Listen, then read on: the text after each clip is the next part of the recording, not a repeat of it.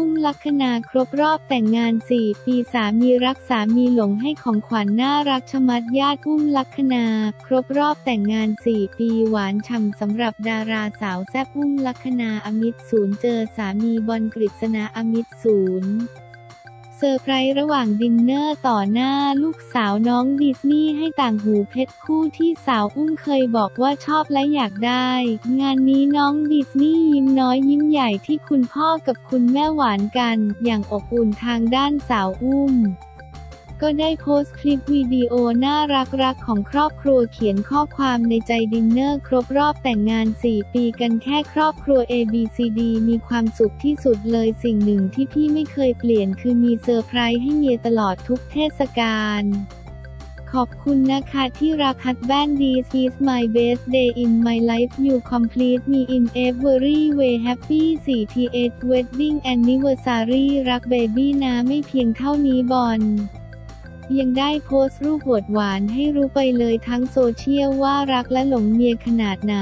บอกครบรอบแต่งงานปีที่ 4 เราทยงกันบ้างทะเลาะกันบ้าง แต่เราไม่เคยมีวันไหนที่ไม่รักกัน น้องทำให้พี่รู้จักคำว่าครอบครัวที่สมบูรณ์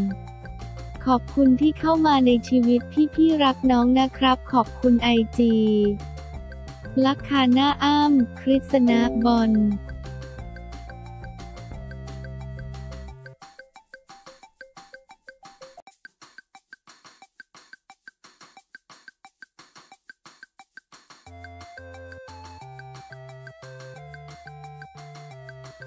ปอโพสต์ความรู้สึกเริ่มตามยุคนี้ไม่ทันเหมือนอยู่ดาวคนละดวง มูชมเขียนดีมากอย่าเพิ่งด่าตอนนัทวุฒิโพสต์ความรู้สึกเริ่มตามยุคนี้ไม่ทันแล้วเหมือนอยู่ดาวคนละดวงด้าน หมูพิมพกา ชื่นชมเขียนดีมากเรียกว่าทุกวันนี้เทคโนโลยีเปลี่ยนไปและเติบโตอย่างรวดเร็วมาก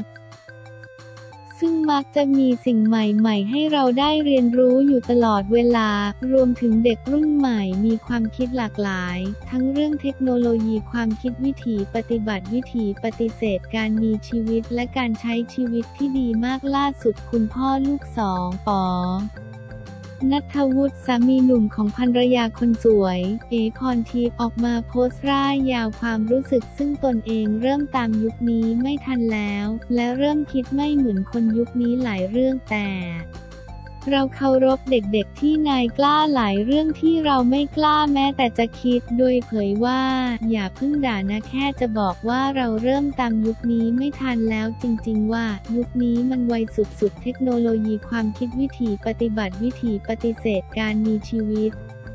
การใช้ชีวิตทุกอย่างมันเติบโตอย่างรวดเร็วมากมากมากมากมากถ้าจะบอกว่าเรามาจากดาวคนละดวงนี่ไม่ผิดเลยนะ เราเริ่มคิดไม่เหมือนคนยุคนี้หลายเรื่อง แต่ไม่ผิดไม่ถูกนะเราเคารพคุณเราเคารพวัยรุ่นเราเคารพเด็กๆ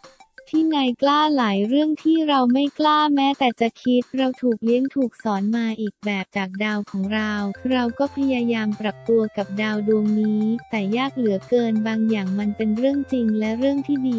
มากๆ จนเราแอบชื่นชมเด็กๆอยู่เสมอ แต่เรายังคิดแบบเดิมอยู่นะ เพราะชิปในสมองเราเป็นรุ่นเก่า พยายามอัปเดตอยู่แต่โปรแกรมมันไม่รองรับแล้ว ต้องเปลี่ยนเวียนบอร์ดเลยมั้ง ถึงจะอัปเดตได้ไม่เป็นไร เราคิดมาแล้วว่ารีสเปค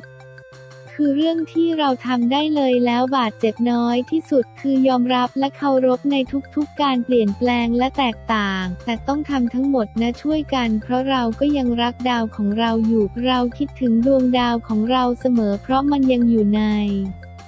library ของเรามาตลอดหลาย ๆ อย่างที่มันตกยุคไปแล้ว แต่มันยังเป็น favorite picture ของเราเสมอมาหวังไว้ในใจว่าจะเข้าใจเรานะแล้วเราแอบเชื่อว่าเราไม่จำเป็นต้องมาจากดาวดวงเดียวกันหรอก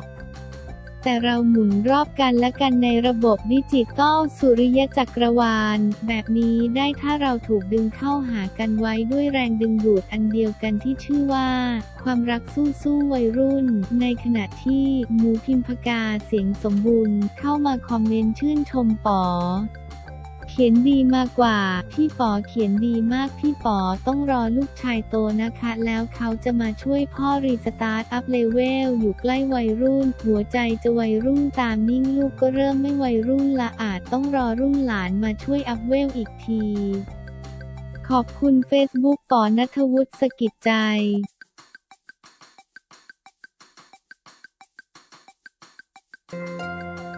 เปิดภาพล่าสุดพระเติ้ลธนพลพระเอกดังละทางโลกเผยข้อคิดธรรมะเตือนใจ ความทุกข์จะอยู่กับเราได้นานแค่ไหน ขึ้นอยู่ที่ใจเราจะเก็บมันไว้ หรือจะปล่อยวางมันไปเปิดภาพล่าสุดพระเติ้ลธนพล พระเอกดังละทางโลกเผยข้อคิดธรรมะเตือนใจ ละทางโลกเข้าสู่ร่มกษาวพัฒมาตั้งแต่กลางเดือนเมษายน 65 ที่ผ่านมาพระเอกเติ้ลธนพลได้รับฉายาทางธรรม ธนปัญโย นั้นล่าสุดอินสตาแกรมเท่าขีดล่างตนโปเผยคลิป พระเติ้ลธนพลขณะอยู่ที่วัดพร้อมข้อคิดธรรมะว่ารู้จักคิดรู้จักจำรู้จักทำรู้จักถอยรู้จักคอยรู้จักทนรู้จักปรับรู้จักรับรู้จักให้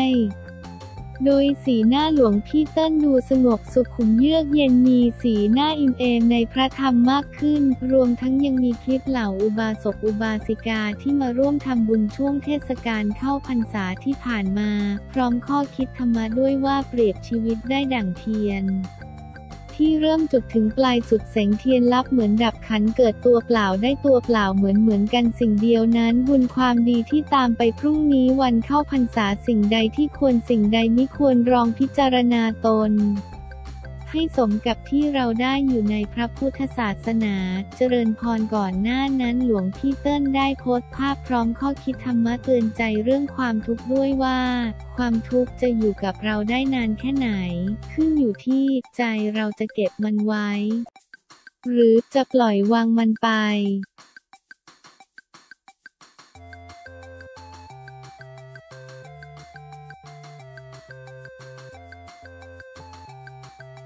เจี๊ยบลูกชายจากไปแม่น้ำตาไหลทุกวันเผยเหตุการณ์ตีห้าหลังอธิษฐานขอเล่าเพื่อให้เกิดพลังดีไม่งมงายอยู่ทำดีๆ ต่อมีพลังใจเจี๊ยบกาญจนาพรลูกชายสุดที่รักจากไปแม่น้ำตาไหลทุกวันเผยเหตุการณ์ตี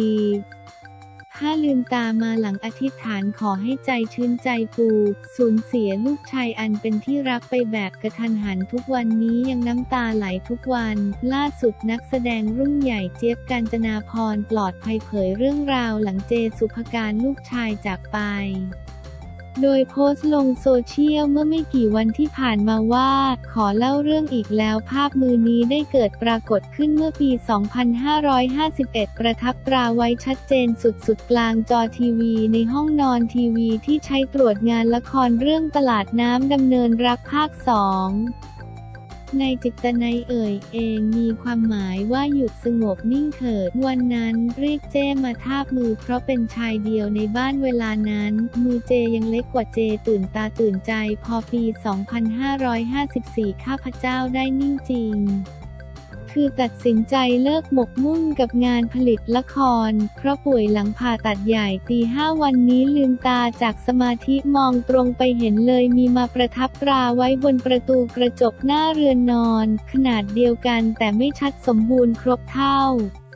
เพราะเป็นกระจกด้านนอกที่สกปรกหน่อยฝนฝุ่นจับตัวกันด่างๆขาวๆไม่เหมือนฝุ่นที่จับกันบนจอทีวีในห้องนอน ต่างกันตรงที่ว่าเมื่อคืนอธิษฐานขอเบื้องบนว่าเจจากไปแบบนี้ ผู้เป็นแม่น้ำตาไหลทุกวันบันทอนกายใจเกินนนน มันสุดแสนจะคิดถึงขอรางวัลแห่งความดีงามบ้างเถิด มาสื่อสารกันให้ใจชื้นใจผู้ใจมีพลัง ข้าพเจ้าจะยิ่งเจริญใจในธรรมยิ่งยิ่งยิ่งขึ้น เล่าเพื่อให้เกิดพลังดีไม่งมงาย อยู่ทำดีๆต่อมีพลังใจแม่มีพลังจะกลับไปรับค่าแสดงเรื่องก่อนไปรับงานเรื่องใหม่ที่เคยบอกปัดปฏิเสธไปแล้ว แต่ทีมงานยังรอให้โอกาสมาถึงวันนี้ เริ่มถ่ายกันเดือนหน้าแม่จะอยู่ให้มีดียิ่งยิ่งยิ่งขึ้นนะเจ้